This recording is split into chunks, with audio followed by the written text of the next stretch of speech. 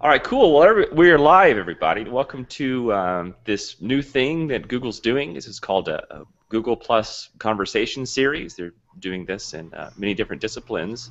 Uh, this one happens to be all about photography and stories, and this has kind of been hosted and, and run on the HDR photography community. Uh, so everyone is come uh, welcome to come join that community. I think there's over 180,000 people in it or something. It's crazy and it's just a place where we all kind of experiment with uh, post processing and really i think we all like to tell stories through photos. And that was sort of the impetus and the idea behind this uh, this particular hangout. And so i'm gonna this is different a different kind of thing than i, I normally do. Um, the way this came about was a little bit different but i'm super excited about it. Um, each of these people you see in these other boxes down here uh, they all entered sort of a, a contest. They put up a, a story and a photo and uh, they were selected, uh, you know, by, by me and Google and everyone for this event. So we're gonna get to know all these people and their their photos and their stories, and maybe I'll tell some, and they can ask me questions, and we'll just kind of see how this thing goes. All right. So let's go through um, introductions real fast, and I'll kind of uh, jump around here. So Paul, let's start with you. Uh, Paul Carmona, and I'm from Sydney. Yes, you live in Sydney. So I'm going to show you a sneak preview of something that uh, from Paul. Let me share my screen here. Okay, screen share, and then I'll click this photo. So uh, Paul shared a, a, wonderful, very personal story and this amazing photo too, of course. But just in the short time that he shared it, it's already been seen down here at the bottom. I don't know if you can see this. They just moved this down to the bottom, by the way. But the number of views, it already has over 211,000 views. So this little story they just kind of put up on on the internet, you know, by himself one night, I guess. Now it's been seen by over 200,000 people. So just in case um, you don't know this story, maybe you don't, um, we're going to have him. Uh, we're going to have him tell it also. All right, so he'll be kind of first up to bat after the other introductions. That little sneak preview. Okay, uh, Andrew, you want to go next? Yeah. My, hi, my, hi, Trey. Hi, everyone. My name's Andrew Gerard. I live uh, in Vancouver, Canada. So. Yes, and you are also involved in the magical arts, yes? I am. I have a few different things that I do in that realm. I'm a hypnotist and a psychological thought reader, whatever that is, and uh, I produce television shows in this genre. So all the stuff you see on TV, Mind Freak with Criss Angel, David Blaine. Uh, I am a uh, producer. I create and design effects that those guys do on the show and produce them. So. Ah, very cool. Yeah. yeah thanks for telling me that. That's good. Um, and next, let's go with uh, Danny. I think you might be muted, Danny. Uh, there's a little mute button up there on the top. You can click and then. All right, can you hear me? Yeah, yeah, go for it now. All right, so my name's Danny Levin. I live near Pittsburgh, Pennsylvania, and um, I'm not a professional photographer. I'd like to be maybe someday, but um, I'm, I do photography for a hobby. I've been doing it maybe 15 years. And uh, it wasn't until maybe about two years ago, I think, when I bought Trey's awesome um, HDR video tutorials that I really got excited about it. Um, just seeing, you know, how awesome the pictures come out, and so that's a little bit about me. I wanted to say because I don't know if I have another opportunity, but Trey, thank you very much for all your insights. Ah, oh, you got muted. Oh. Yeah. That's okay. He was just about to say something nice. no, no, it's okay. Well, thank thank you very much, Danny. You can uh, come back to that when we when we circle back to your uh, to your situation. All right. Okay. Sorry. Um, so, uh, uh, by the way, no one is required to say anything nice about me at all. We could just hang out, and it's very nice of you. all right, Guy, you're up next. Uh, hi everybody, I'm Guy, uh, Guy Parkes from Auckland, New Zealand, uh, almost home of the uh, Next America's Cup but uh, the USA uh, managed to hold on to that. But yeah, keen amateur photographer, and looking forward to sharing the story. Good. This is actually one of my favorite kind of photographer. These keen amateur photographers. I think the word photographer is so unusual nowadays. Anyway, people don't know what kind of photographer to call themselves, and I think if you don't know what kind to call yourself, this is actually the most interesting kind of all. All right. So next, uh, Jesse Summers. What's up, Jesse? Hey everybody, uh, my name is Jesse Summers. I do a lot of landscape and uh, night sky photography, which usually consists of me walking around in places I don't know too much about, dropping my camera lenses in the water, in the ocean, off cliffs. So that's that's about it. I spend a lot of money on camera gear and lose most of it. Very cool. All right, and uh, Rick, we'll end the introductions with you. Go ahead. Uh, yeah, my name's Rick. Um, I'm an, am- an amateur photographer. I really only picked this up about six months ago after I took uh, Trey's HDR course. Um, I'm a full-time IT guy. I travel a lot. As a matter of fact, almost every other week up to Vancouver. Uh, but yeah, this has opened up a whole new uh, kind of avenue of my life, and I just am just so uh, pumped by it. Just you know, I can't every waking minute I if I'm not working on it, I'm certainly thinking about it. So that's me in a nutshell. And I live in Florida. All right. Well, thanks, Rick. Um, so I can't wait to share all your photos and stories, and, uh, and if there's time at the end, um, if people have an interest, um, there's been a lot of questions lately about this because I know I was on this great camera bag quest in uh, in Japan a few days ago. So I've come back with a delicious booty, and I will uh, be happy to share. Uh, let's go around and hear um, uh, all these various stories and have a picture sharing time. Um, so I already teased yours, Paul. Um, what I'll do is I'll I'll bring up your photo on my screen, and you can kind of uh, tell your tell your story, and um, you know also you can tell the story of the story because I think that there were some uh, unintended or interesting side effects because after you shared your story, it's like it kind of has kept on going. So I think people would like to hear that. Okay, so go ahead, Paul.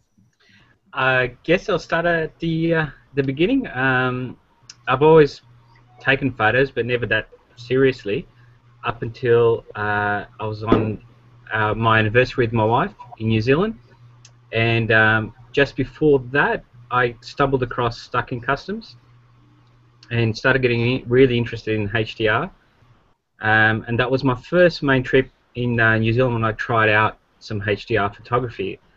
Um, but also, at that point, everything just seemed to come together because as you're getting older, and I've been dealing with depression for probably most of my life, um, and it got to a point where, uh, as much as I wanted to be a really good father um, and have a beautiful wife, going to work and coming home was pretty much my life. Um, and trying to spend some time with the kids, and you get stuck in this rut, and then to have this depression constantly over you, it wasn't helping the situation at all.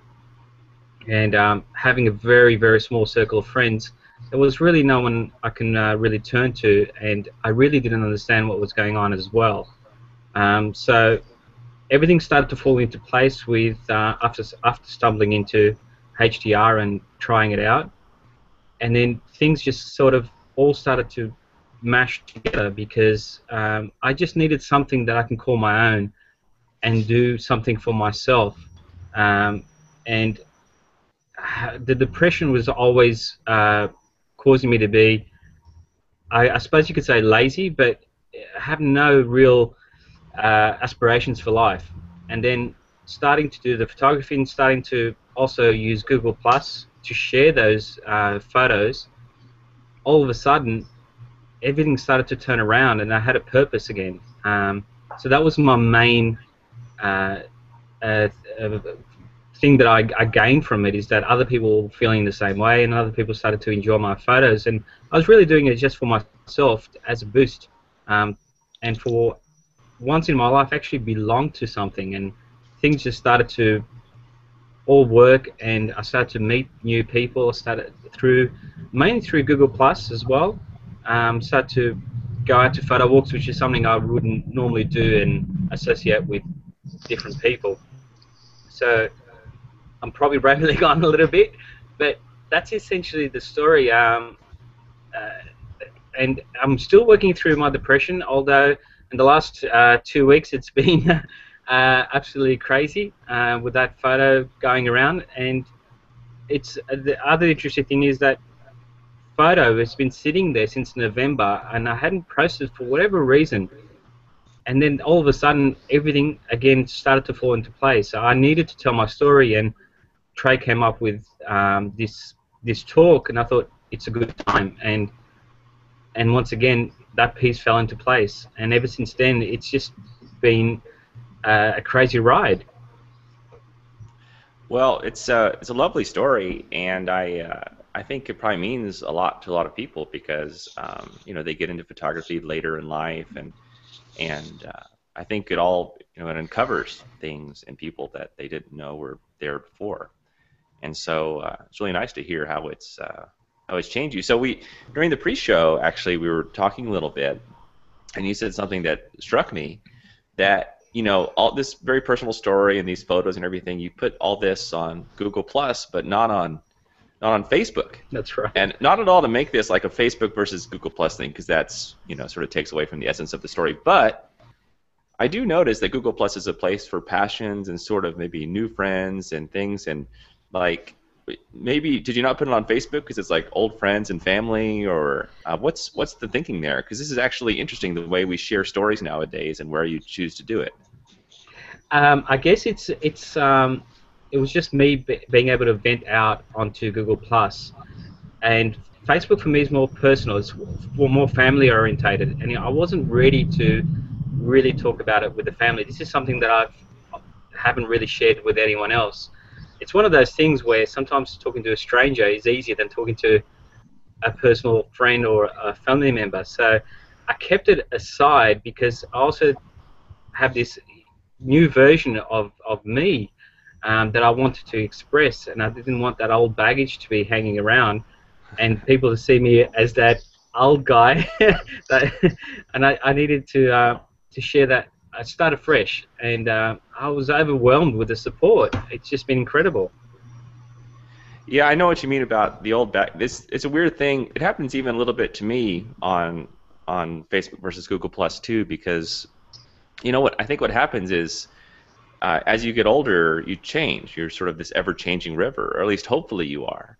And then what happens on Facebook is I have all these old friends or whatever from 10 or 20 years ago, you know, that kind of reconnect. And then, so when you share something very open and vulnerable about yourself, you kind of hesitate before you hit click because you're like, what are all my old friends and family going to think? But really, I think one of the great revelations I've had, maybe just because I've been doing this so long, is that um, I think you just put it all out there, and it will self-select a new set of friends for you. Because if you have older friends that are very judgmental or don't like this new version of you, well, they're not your friends anyway. So forget them. It's a great sort of litmus test for bringing you know the kind of people into your life that need to be there.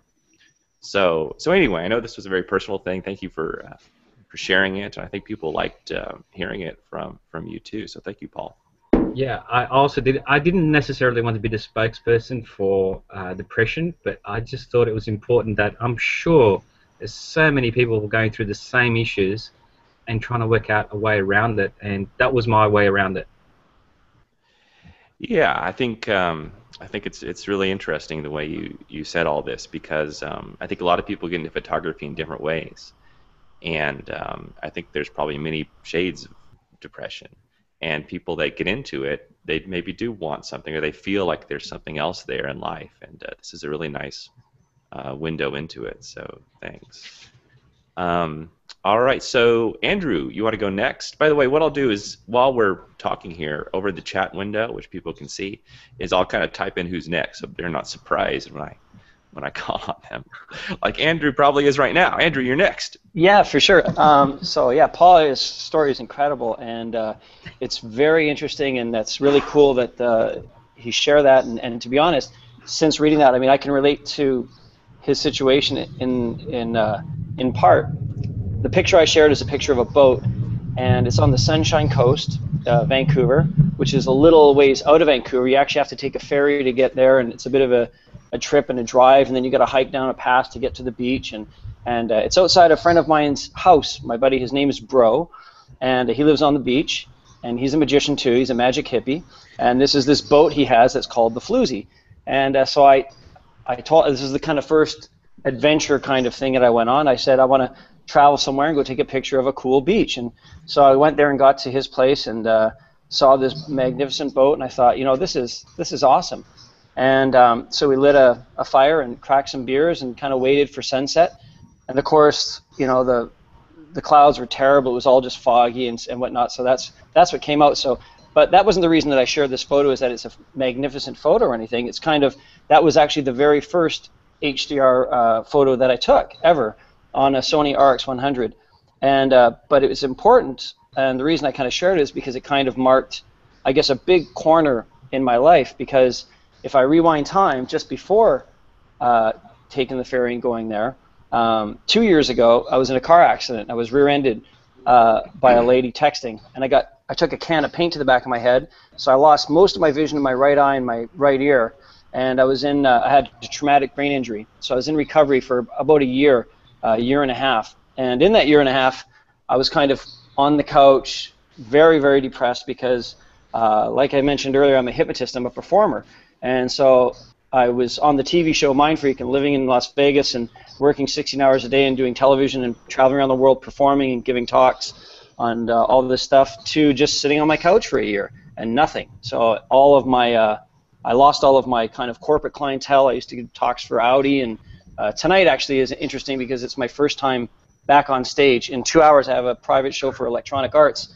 uh, here at the Shangri-La. So it's like a huge day for me today. But uh, so yeah, that that year that I was kind of out and actually very depressed, I uh, stumbling around on YouTube. I too stumbled on a, a, Trey Ratcliff video of you can do HDR, and uh, after about 20 minutes, I, I was Trey kind of convinced me that I could do this, and I thought, you know, I, I want a camera that I can shoot raw and aperture mode, and I want to get a tripod, and I want to take one of these these pictures. These are amazing, and it really spoke to me. And uh, thinking about it back now, before I did hypnosis and stuff, I was a hairstylist for 16 years too. So I kind of had this natural aesthetic, and I like I have an eye for things. And, and I thought my whole life has kind of been one big rehearsal to get a camera and try and do this. So um, yeah, I got a Sony RX100 after a little research. Thought this is a good kind of starting point. It looks nice, and I like it. so.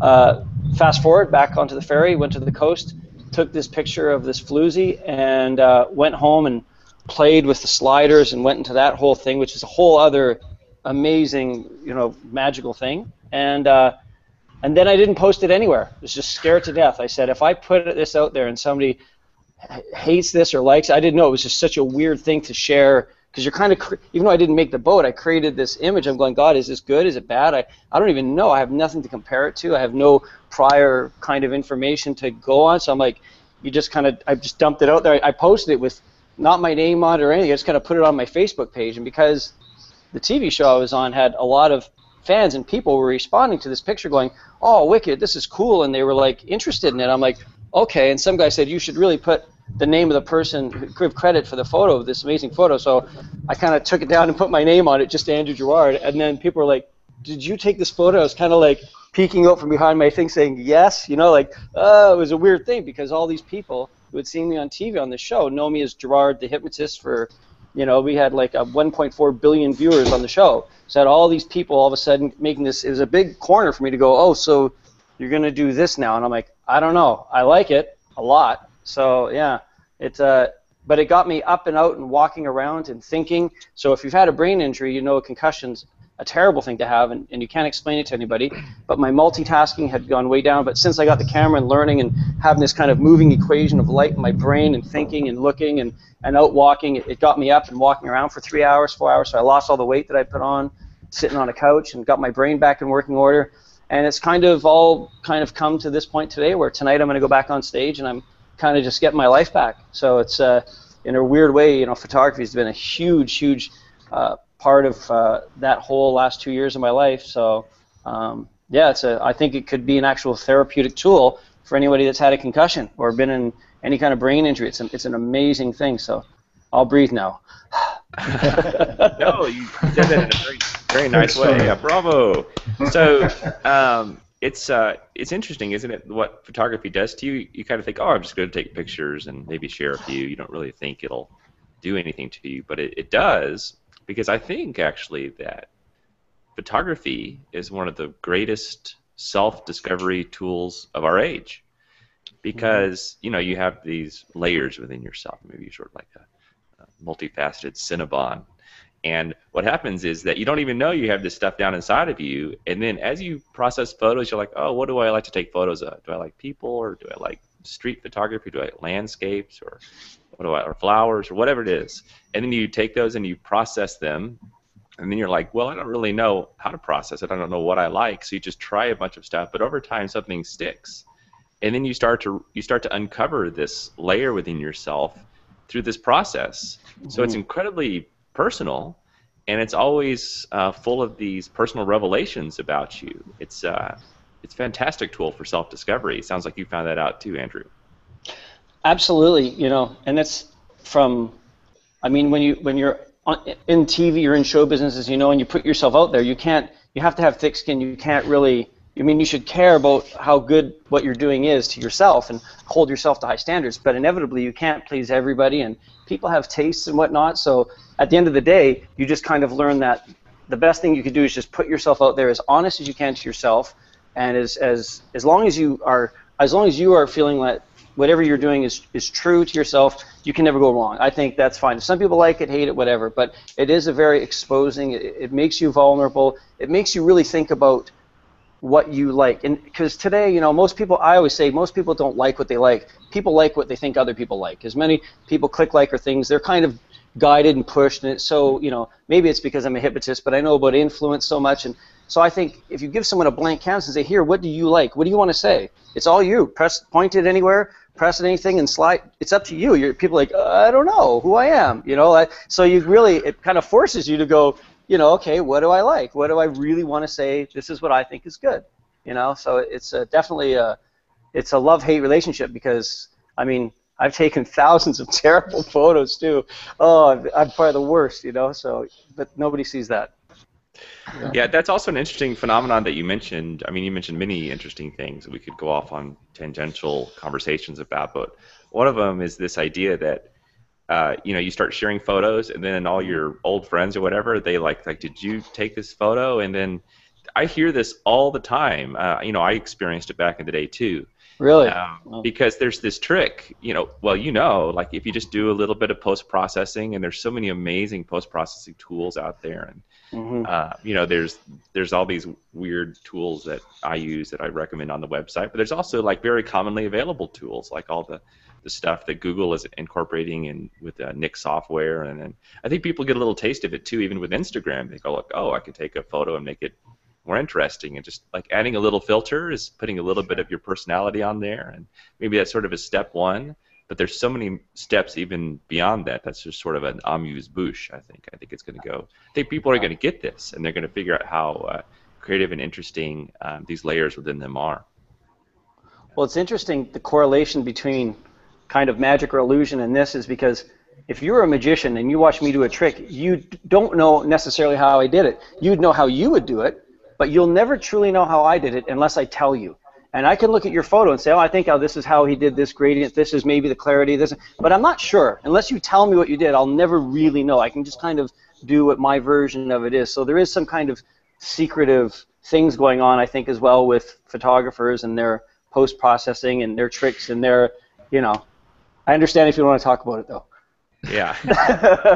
yeah. No, no. That's what my uh, uh, we'll move on to Jesse here next, but I'll just speak to that real quick. You know, I uh, from the beginning uh, when I started the blog like eight years ago or whatever, I would share the photos and all the techniques behind them because there's certain people out there. It's interesting that you're into the, the magical arts, but the idea is that um, you know it takes a special kind of brain to appreciate the magic trick itself Mm-hmm. And then sometimes they say, well, when you learn all the steps of the magic trick, it's no longer very interesting. But that's not true because if you have the right kind of brain, they can appreciate all the little spoon bites it took to eat the elephant, and you can appreciate eating the whole elephant. If you can do both of these things, you know this is a very nice mindset to be in, and so uh, I think we all figure this out slowly through photography. Okay, so uh, Jesse, you're next. Um, I'll again share my screen. I'll pull up your photo and so I'll, I'll, share your photo and also like look at your profile and some other stuff you've done while you're talking. Okay, so go, Jesse. Okay, well, very cool. I, I don't know. I have a pretty pretty hard couple of acts to follow there. Uh, with Andrew and Paul, both of you guys had such compelling stories, such such you know emotional uh, stories that brought you to photography. Um, I'm a little bit different. Uh, back in 2010, uh, I saw a photo online uh, of the Milky Way, which which I thought was, of course, a, a fake, a, a, fraud. You know, how, how is it possible to take a, a photo of the galaxy with the landscape with, with a standard DSLR? When in fact, I realized that it was not a fake, it wasn't a fraud. It was actually possible. And when I made that realization, I, I kind of made it my, my objective in all of my free time to learn how to do that to the, the best of my capabilities. So uh, um, I've researched. I, I, I, researched techniques. I researched post-processing techniques, and uh, searched for search for places where I could could travel and kind of create otherworldly scenes out of locations on Earth. Um, why am I doing this? What's the impetus behind it? I, I, I kind of want to encourage people uh, to to get out on the weekends and experience nature, experience a, a, a night sky miles away from light pollution, uh, uh, see it for themselves. Because in, in my opinion, that's the that's the best best time a, a person or a couple people can can can enjoy. You know, I have a great time doing it if I'm I'm by myself. Uh, the photo that's uh, being shared right now is of Palouse Falls in uh, in Washington. Um, I, I, saw a couple photos of this place, and uh, um, realized I had to go up here to photograph it. So uh, I found good, uh, a reasonably priced airfare, hopped on a plane from Florida to Washington State, rented a little car, drove into the middle of nowhere, and uh, uh, stood on the side of that cliff to, to take this photo. And, and you know, be, actually being there in such a magnificent and awe-inspiring place is really, really a humbling experience. Um, a little technical detail behind the photo. Um, it's a, a combination of two panoramic images. Uh, both panoramas are five photos going from right to left, uh, taken a couple hours after, uh, one, one at just after sunset and then one a couple hours later at um, about 11, 11 p.m. Sunset's pretty late up there. Uh, I don't a lot of my HDR uh, uh, blending I, I, do by hand in, in, Photoshop, and I have to give a huge shout out to Google with the Nik collection. You guys make my life really easy when it comes to post-processing photos compared to uh, uh, using actions I've developed in, in Photoshop. So, uh, uh you know, big a big thank you to uh, Google and Nik Collection for that. if if you guys are photographers watching this, I, I highly recommend using their tools. Whenever I, I lead workshops, I always I recommend for the participants to pick up uh, Nik collection offered by Google and, and really use the tools. I, I, I use it as an integral part in all my workflow. Um, photography's personally been, been very important to me um, for, for some time now. Uh, I really like just showcasing showcasing the natural world to the best of my ability and, and showing uh, uh, uh showing the, the night sky in places that people view as familiar. Um, I was uh, I was actually uh, uh, brought to Google Plus by uh, uh seeing some of uh, Trey's work elsewhere uh, on the internet. people are a lot nicer on on Google Plus than they are in, in several other places online, and it's very very good very good community. Um, notice some some some of my shots scrolling by on the side, and I'll, I'll, be happy to. talk some more about the nitty nitty gritty of, of the images if we have a, a chance to do that at all um, at the time for this broadcast. I yeah, guess that's these, about it for me. These photos are crazy, man. Um, mm. I'm sure people are seeing those and thinking, "Whoa, that is uh, wild." But uh, so it seems, what what made you um, get more into night photography than other kinds of photography? Um, I want to present familiar, familiar places um, with with kind of a, a twist. Uh, a lot of uh, a lot of people are even now after after night photography has uh, uh, been on the upward swing for a while, unaware that uh, uh it's it's possible to capture the, the Milky Way uh, uh, with landscape photography, and it's just been something that's really really captivated me. Um, I try to do I. I really try to discipline myself to do half nighttime photography and half daytime photography, just to kind of have a, a sense of balance. But but it's just it's just I have a very obsessive kind of personality, and and I just I just want to get as many interesting places as I can and and capture them in the most surreal way way possible. Yeah, that makes a lot of sense. And I also liked there was this little part of your story which you probably just threw in there, but you didn't you probably wondered why you put it in there afterwards. But then there, there's this process where you talk about flying in and like renting a car and driving, and this is actually people don't know all this stuff unless you do this sort of thing. But uh, do you find this like because I do this kind of stuff all the time? Like I fly to some weird airport and then I Yeah. go through all the trouble of renting a car and it's always different, you know. And then you, you got to get in the car and you got to like stop at the store and get a few snacks or something because you don't know how late you're going to be out and you, end up getting weird food. And so anyway, it's just like uh, everything is like uncomfortable because you're going through this weird stuff and you're going through so much trouble. I mean, packing and and uh, uh, going to these little stores, getting these, and then you actually finally get to the location, and then like while you're driving, you're thinking, what is all this nonsense I'm doing? Like my my my, I've spent so many days of nonsense, just logistical uh, ridiculousness, getting into this location, and then you finally get there, and then you take the shot, and you're like, oh, okay, now now I know why I do it.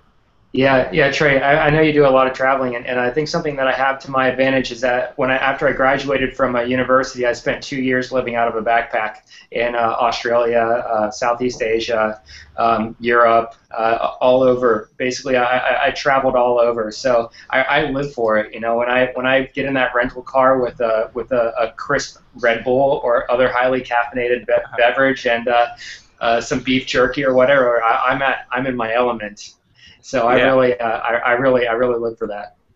No, I dig it. Uh, Red Bull isn't my thing. I think we all have our little routines when we're in these little car trips. I like so I like having a little bit of chocolate, you know. And there's different chocolate all around the world, and I've got this one problem always in Iceland uh, because everything is like in this crazy language only dolphins can speak. And so when you go into the store, there looks like all this chocolate. But my one pet peeve is licorice, and for whatever reason, in every Icelandic chocolate thing I've gotten, they've always included licorice somehow, like it's in the middle or it's on the outside, or there's like a shell, and there's just no way around it. So I'm always so excited, uh, but I always get ripped off in the end because of this Icelandic licorice um, fetish oh, I they would have. love to shoot there. I would love to shoot in Iceland. I bet you'd go. I bet you'd go crazy there. Um, when I see night photography like yours, it makes me want to get out there and do more, more night photography. I just, I just dabble in it, but I see guys like you, and I think, whoa, that is pretty hardcore. Yeah, very cool. Well, thanks for all the photos and thanks for the story. All right, so uh, Rick, uh, you want to go next? Sure. Um, what photo are we talking about? I, I posted a couple. Oh, okay. Let's we'll figure it out together. Okay, here I'll share this. I'll share my screen. 'Cause I think this is the one that uh, that I saw here. Okay, sharing my Was this, was this the one by the beach? It was uh, this one, Coquina Beach. Ah, Yes. yeah, yeah, yes. Yeah, down in Florida. Yeah, yeah. So, um, well, the, the story about this, I, as I do with a lot of mine, I write uh, like a paragraph or so on my web page on my blog, and then what I do is I try to condense it uh, on Google Plus, and rather than write a long story. Um, and that's just kind of a habit because I figure most people are just kind of scanning and they're not going to read it anyway. Um, but the full story behind this is it's a very cool beach. It's a very popular beach close to where I live, and um, but it's unfortunately it's a very dangerous beach. And uh, I'm sad to say that you know a couple of people have been lost because they just wa- wade into the waters, um, and they dro- it drops off, and the current is really really tough. Uh, so anyway, I went back there a couple of nights ago, now I shot this picture uh, a couple of months ago, but I, I went back there a couple of nights ago to shoot it uh, from a different angle and whatever. And on my way back, uh, I noticed a bunch of people remarking about the dolphins. And um, sure enough, uh, just off off the you know just a few feet away from me are this pod of dolphins just frolicking in the waters and it just it's so amazing to be just sitting there in the presence of these dolphins. And, and because the water is so deep and so close uh, they they love it. And you're just a few feet away. So that was kind of the story behind that. And um, you know and and it makes you it makes you appreciate that you know we're not the only intelligence here and there's the animals are just uh, you know I think a lot of times we don't give the animals enough credit for you know who they are and what they are. And anyway, that was, that that was the story behind it, even though there's no dolphins in the photo. I do like how uh, dolphins are always frolicking. They seem to spend like 95% of their lives frolicking, don't they? They do. They do, and they're so fun to watch. And um, uh, So they don't and- do any actual work. They just they just frolic. yeah, I think in my next life I want to be a dolphin. That's for sure. Yeah. Hey man, this photo is cool. Uh, up here, uh, what is uh, what, what was going on here? Okay, so actually, I, I this photo, um, we went out with our uh, next door neighbors, um, and uh, we went out for dinner. And on our way back, we said, "Hey, let's you know stop by someplace and you know look at the water." And um, I didn't have my camera with me, and then all of a sudden, we got this amazing sunset. And when I say amazing, I mean if I can rate all the sunsets I've ever seen, most of them are, you know, the good ones are in the seven, but this one was up like 9.5. It was so amazing, but I didn't have my camera. And I'm thinking to myself, I'm just kicking myself, wishing I had my. But then I, I realized, hey, I have my iPhone. So I pull out my iPhone and I start clicking away. And, uh, and then I bring it back and I, I forget about it and I go back and I, I'll go to process it a couple of days later and I just start blurring blurring it, you know, uh, doing a motion blur because I just I love the colors, and so that's actually just an iPhone shot. Uh, yeah, I have you know a, a DSLR and all the stuff that you recommend on your site, but that one is one of my favorite photos, and it was taken with an iPhone. And in the end, I realized, you know, I didn't really need to be too concerned about it. it, it I if you have even an iPhone, you can cat you can do something that's pleasing and, and that to me was pleasing even just to myself Yeah, that's then I- crazy. That's an iPhone shot. I had no idea. I thought, man, I bet like no one can believe that's an iPhone shot. It's yeah that is man. that's exactly an iphone shot Yeah. so and that's and those are the true colors that we were looking at that night we were all just kind of standing there with our mouth agape thinking is this true i mean have we died and gone to heaven or what so yeah yeah, I believe it. I believe it. Um, all right, thank you for that. So, uh, Guy, do you want to go next? Uh, thanks, Trey. And uh, yeah, the, the photo uh, that I shared and the story was uh, I first did uh, photography at college, and uh, that was uh, black and white photography. I had my own uh, dark room at home. I took over my bedroom and had all the chemicals in my wardrobe, and I really enjoyed uh, that black and white photography. But I got into a career in IT and had family, and I moved away from photography. One of the reasons is that um, I'm colorblind, which a lot of males are, and so fashion photography, I just didn't feel that I, you know, I, I, I could really you know, have a career. Uh, so I, I dropped I dropped it away, and now uh, the story I tell in this photo, which is it's a marine park, uh, just it's called Goat Island. Um, it's just a, a kilometre from uh, where we holiday in a holiday house just north of Auckland and Leigh. And in 1975, it was the first marine park uh, in New Zealand. So it's a beautiful spot. All the fish have come back. In the summer, there's thousands of people learning to scuba dive and things. But I, I love um, living by the water. And uh, I used to surf and boat, and I still yacht. And the story about a year or so ago, I was thinking I, I need a hobby. Um, I play golf, I play a little sport, but I really needed something for me um, because I'm, I'm heading towards retirement. And I thought, well, why don't I, try you know, this photography again? And I was looking on the web, uh, came across uh, some of Trey's work, and uh, he had a lot of water shots and uh, coastal shots, and that really appealed to me. So I got out my little Sony uh, 5 meg uh, point and shoot, and I went around and I took a few photos, and then uh, found uh, Photomatix, and I did a bit of you know, uh, HDR manually, um, and then realised as I got into it that I needed a little bit better camera. But my view on education all my life is, is you self-educate um, and Google and, and the web is just fantastic for you know, educating yourself. So I thought I'm not going to spend any money. You know, I, I want to test this hobby and just see how passionate I am. And so I found Google Plus. I'd never, I wasn't on Facebook. Uh, my son suggested I try Google Plus. Um, I found the photography, and I started to really learn uh, about uh, well what they call HDR photography. And another of my frustrations as a photographer when I was young is that New Zealand has incredible light, Trey, you, you know, and uh, very bright light and high dynamic range. And if you're at the coast, uh, shooting with a standard 35 mm film, an ill film, you just can't, you just cannot get that light into the photo. And I saw that here's a chance, here's a way by using HDR, by combining, you know, two or three photos, you could get all the light in, in a single location. And that's, and that was, that was the trigger for me to, to get back into photography. So I progressed a little bit, and uh, looking around, I, I decided I wanted a lightweight camera, uh, wanted to be travelling, and I'd focused on photographing my local area.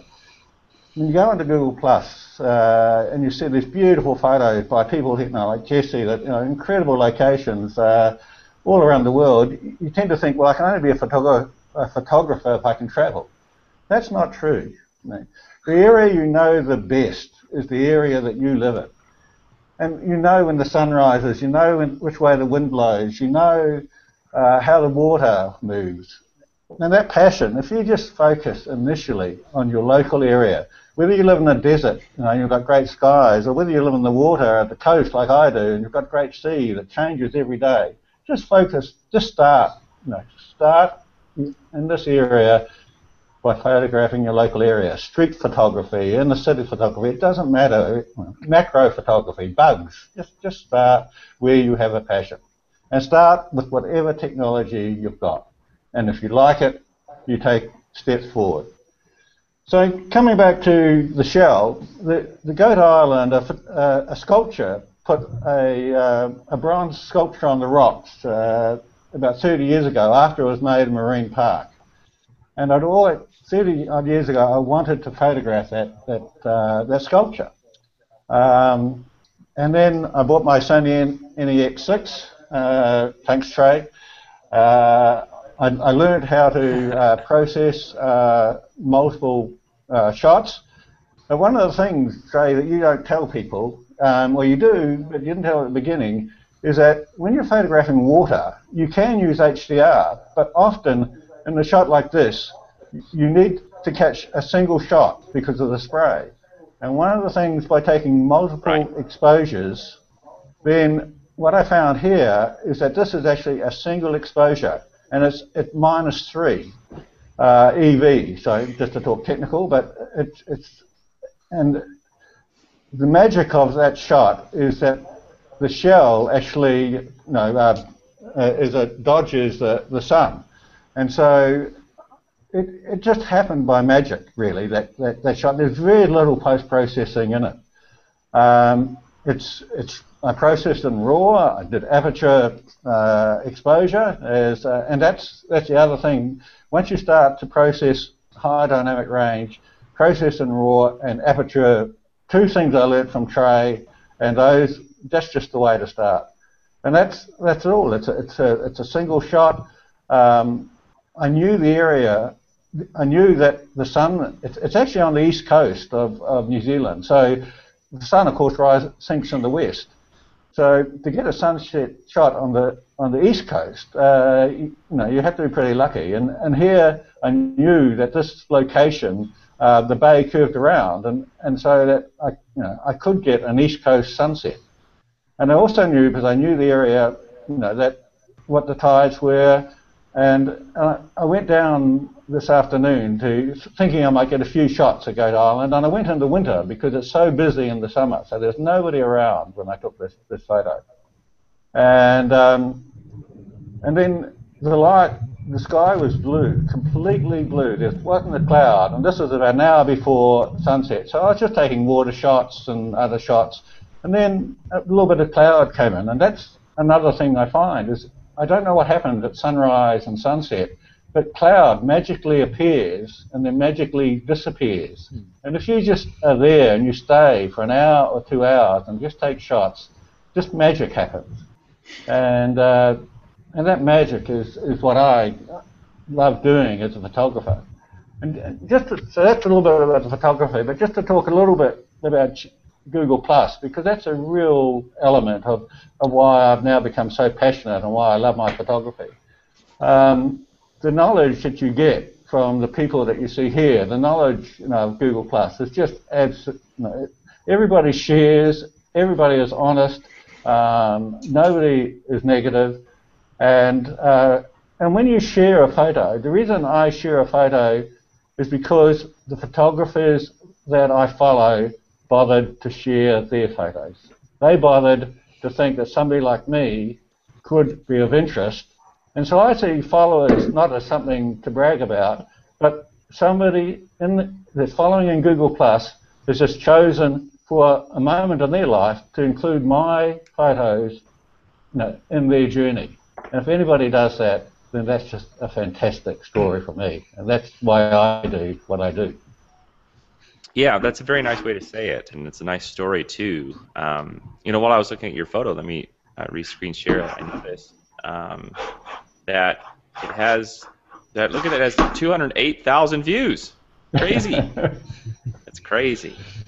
doesn't it doesn't it feel weird? Because I know like I, oh, I certainly feel like this down here because it's so much more remote down here in New Zealand, and the idea that uh, it doesn't even matter where you are, but really if you're sort of a citizen of the world, then you're then you're on the internet. You know? Absolutely, and I think, I mean, I really do encourage people to, to start with their local area because when, when you look at these great photos, they are uh, off-putting, and you think, well, I can never aspire, I can never achieve.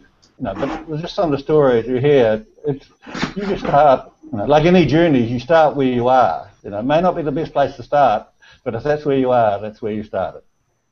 Yeah, I dig it. I dig it. All right, um, Danny, you're next. Okay, so the photo that you're putting up is it the one of Charles Bridge? Let me see. You gotta figure uh, that out. Okay. Photo. And I wanted to say while you're looking, and I know you said I don't have to say it, but I really appreciate all your instruction and the videos. It's really helped me to be a way better photographer, and uh, yeah. So oh, thank well, you for that, Trey. Well, you don't so, have to thank me. I think it goes back actually to uh, what Guy just said is that um, you know you just kind of share for the sake of sharing, and the idea that other people see it and appreciate it, it's it's magical. So there's sort of like this circle of love that goes around, and it's not a. Uh, I know that sounds very new agey or zen or whatever, but it's true. Yeah. And there's there's this um, idea.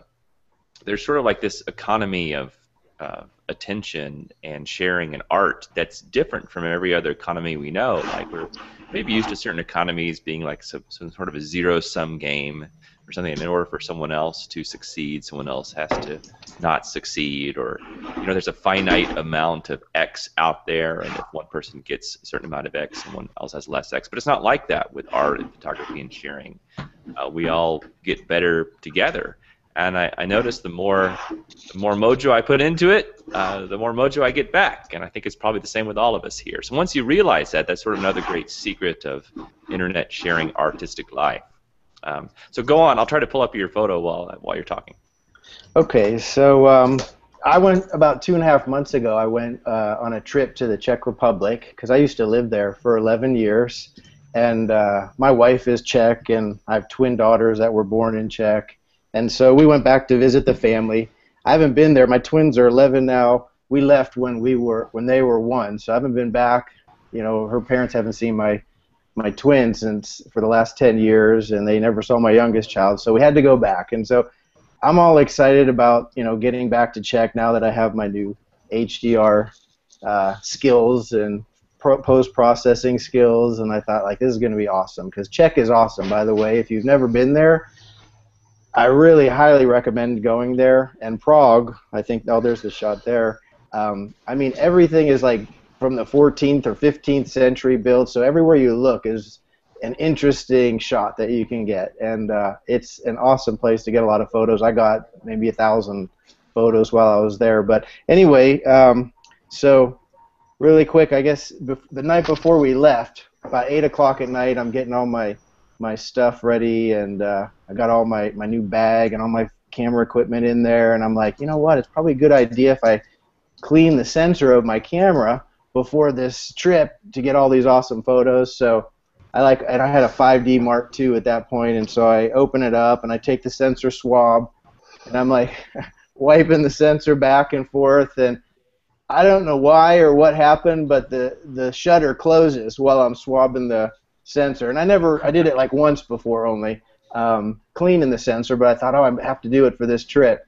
So uh, it the shutter closes with that cleaning swab in there on the sensor and just totally destroyed the camera. And it was literally like eight o'clock at night, and we're leaving at I don't know four or five in the morning the next morning. So I was pretty devastated. I don't know if that ever happened to anybody else before a big trip that you're planning, you know, and you're like, I got all my stuff ready to go to get all these awesome shots. But uh, luckily, I got off the plane in Prague drove straight to a camera shop in Prague and updated to a new uh, Canon 5D Mark III. It was an expensive accident, but it was still uh, it was nice to have a new camera there. So yeah, I got in Czech. I, I was there for three weeks. It was just the last maybe I think we were there for two or three days in Prague. The last three days uh, before we flew back to come back, and uh, again I lived in Czech for 11 years, so I've been to Prague a hundred times taking, you know, picking people up at the airport, dropping them off, to, you know, showing them around Prague. And Prague is awesome and beautiful, but there's always a million people, like on the bridge. That that shot was Charles Bridge. There's always, I don't know, probably 2,000 people on the bridge at, at every moment, and uh, and it's still awesome in the daytime. There's so many beautiful things you can see there, and uh, and I got a lot of nice daytime shots as well. I think the ones that I like, but um, I remember that shot uh, was at night, and we were staying in a, an apartment just at the end of Charles Bridge. So, uh, and there was even at like 10 at night when we were still out there, there was still, you know, the bridge was totally crowded with at least a couple hundred people at that point. And so we went back to the apartment. My wife and the kids went to sleep, and uh, I thought, well, I'm going to go back out there now because you know there's not all the tourists and everybody else is sleeping. So I went out maybe like one in the morning, walked around Prague uh, and it's just awesome when you're, you know, when there's when the city's sleeping basically, and you're walking around, and there's just a few people walking here and there, and you're in this like historical place. It was just a really cool uh, feeling to walk around, and I've never done that, even though I've been on, you know, in Prague many times. So uh, that shot, I was just setting up my tripod and uh, seemed like, oh, that's a good shot there. There's nobody on the bridge. There's actually in that picture, there's actually um, like a couple leaning there, uh, like kissing each other over the edge. Um, I didn't even see that picture until I was processing it later. I mean, I didn't see that they were standing there, so I thought that was kind of a nice bonus to add to the the the mood or the feeling of the picture. And and like in that photo, what I've at least me personally, I love HDR, and when I first started you know, when I first watched your videos, I was like, man, look how perfect I can make this scene look, and you know all the colors and how vivid it looks, and uh, and I love those photos. I even won a cruise for one of the very first HDR uh, photos I took, and and again, it was uh, inspired by one of your photos, Trey, and definitely by your uh, the videos. But um, now I think I've come to like that when you're post processing not making everything perfect, you know, and, and you know, masking in, you know, more lighting here that that you got on one of the exposures, and less lighting here, and leaving in some of the flares, and adding some maybe vignettes, just to give it a little more feeling. So that's what I'm trying to do now with a lot more of my photos is uh, make it a little bit more, to me, interesting. But that's what that photo was about there. Yeah, well, uh, I agree. It's a lovely photo, and I'm glad you appreciate the magic of all this too. We're actually working on a, a new HDR tutorial series to bring sure it's all updated and have all the latest tricks. And I'm also interested in this idea you're talking about of leaving um, little mysteries in the photo. Um, something Renoir said about all of his paintings. He puts little mysterious purposeful mistakes in there because it makes people wonder more. And I sometimes like you guys are you see, you may see photos that are like too perfect. They're like so like literal and perfect that they are they're nice uh, exercise in perfection, but sometimes uh, some of the art is lost in some ways. And that's one of the weird struggles with today's technology is because the cameras are so good and the post processing is so good. Uh, you can work a photo until it is like um, quintessentially uh, perfection. Uh, but then, unusually, at some point, something is lost in that translation, and it's uh, it's a vague thing, but uh, I guess you know it when you see it. Um, all right. Well, thanks for that story. That was cool. Um, uh, does anyone have any more big questions before we tie it up and with a little bow on the end? What's I the temperature question. in New Zealand? Oh, what was that? Oh, I was just wondering how cold is it in New Zealand? Oh, it's not. People always think it's like terribly cold. You know, there's that that one scene, remember that amazing scene in the beginning of the the second Lord of the Rings movie, and uh, remember uh, Gandalf had just you know dived down with the Balrog. You know, it's very tricky, by the way, that he sent the rest of the Fellowship away so that he could just kill the Balrog and steal all the XP for himself. It's a very uh, a bold move by Gandalf there. But anyway, in the beginning of the the scene, it's outside of the mountain in the in the second movie, and uh, it's all it's all snowy and super cold, and people think, oh wow, it's like hardcore Antarctica there, but it's not.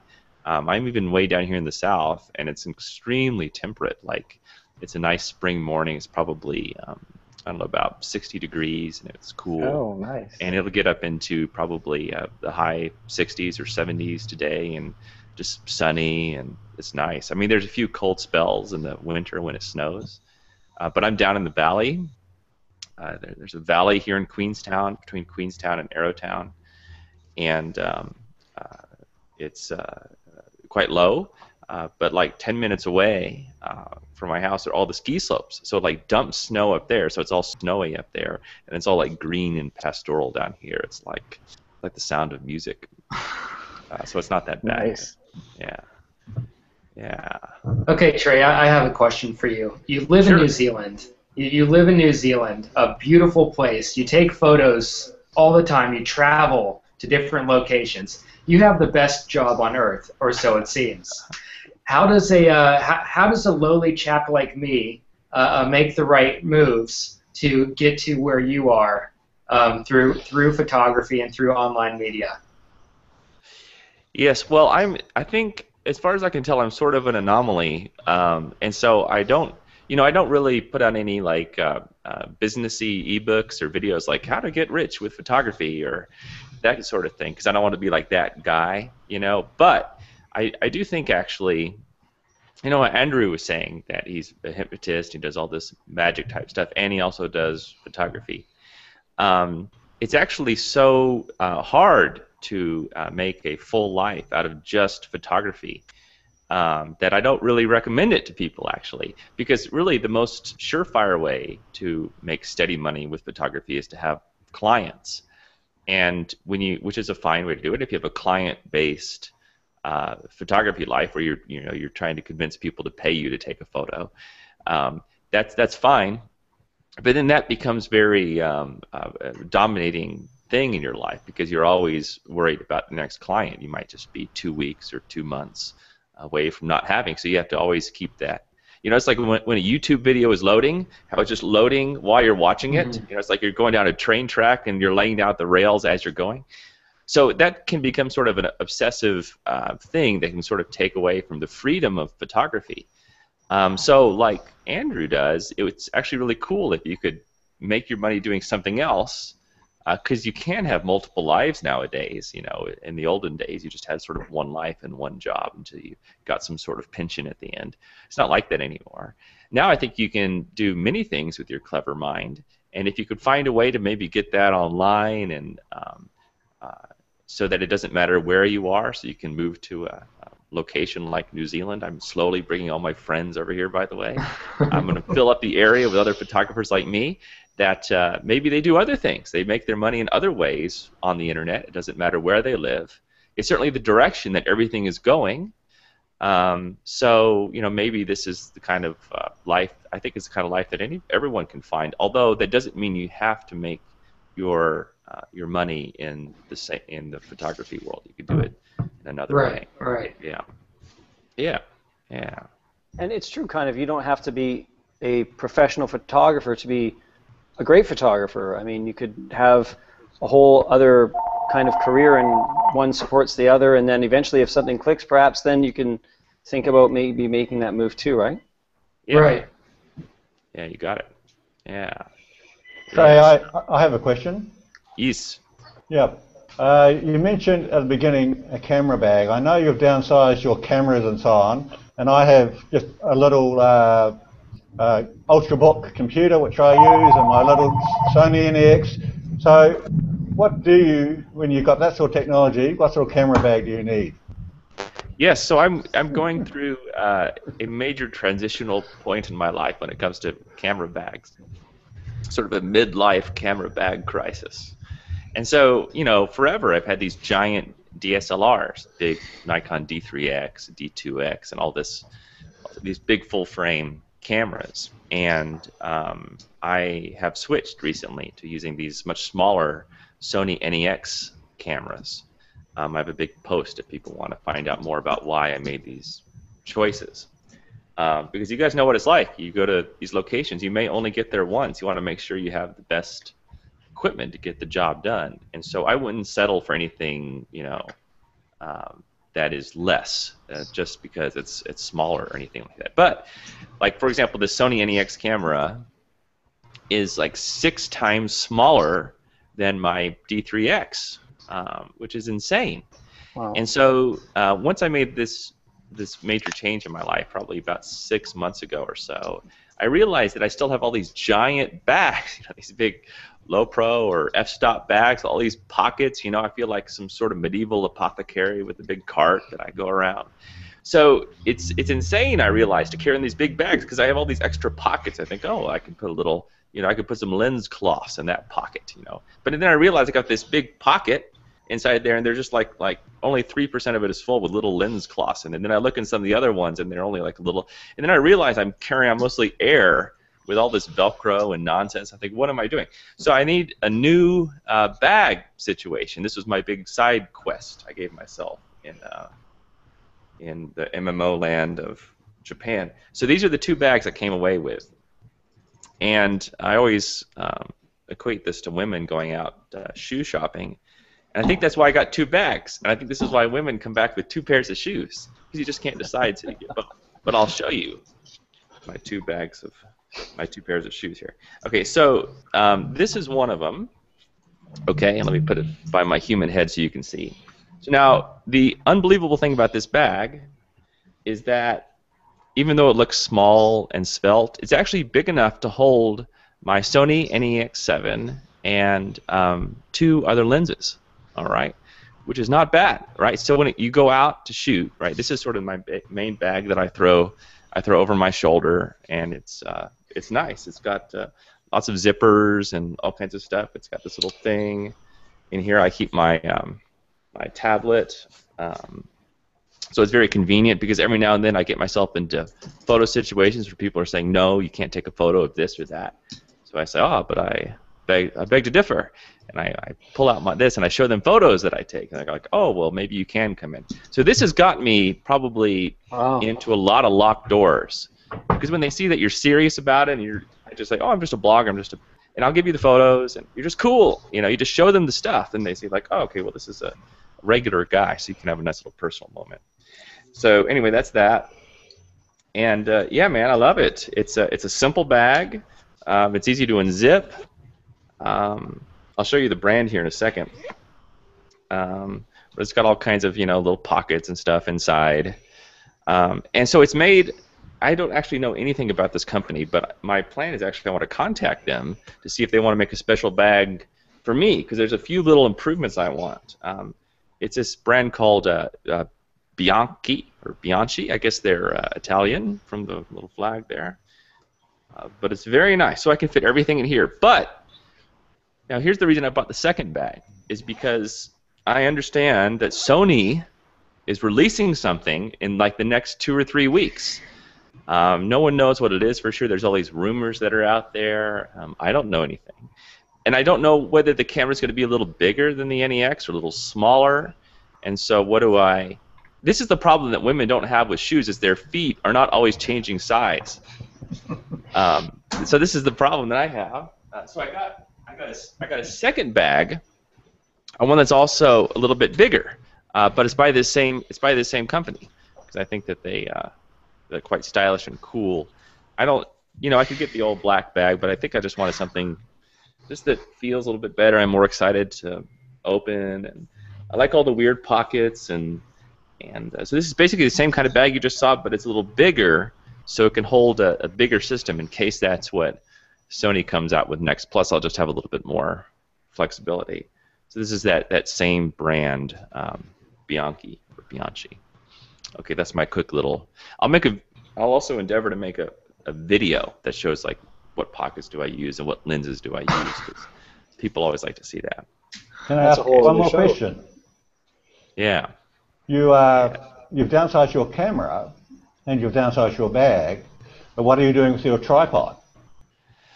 Ah, yes. so uh, I still have the same tripod, but I have a smaller head. So I use a, a really right stuff tripod. It's uh, it is quite big and robust. Um, uh, the head, I got a much smaller head though, because I don't need that giant multi-pound head to hold a big DSLR. So um, yeah, a lot of people actually. We had this really fun Google Plus photo walk in Tokyo, and they came up to look at my tripod. They were surprised it was so big, but actually, I still like that it's big and quite sturdy because um, I find that the sturdiness helps in inclement wind conditions uh, more than it does to hold up. And I don't need that that power to hold up the little NEX. I mostly need that power so that the tripod is braced in uh, in windy situations.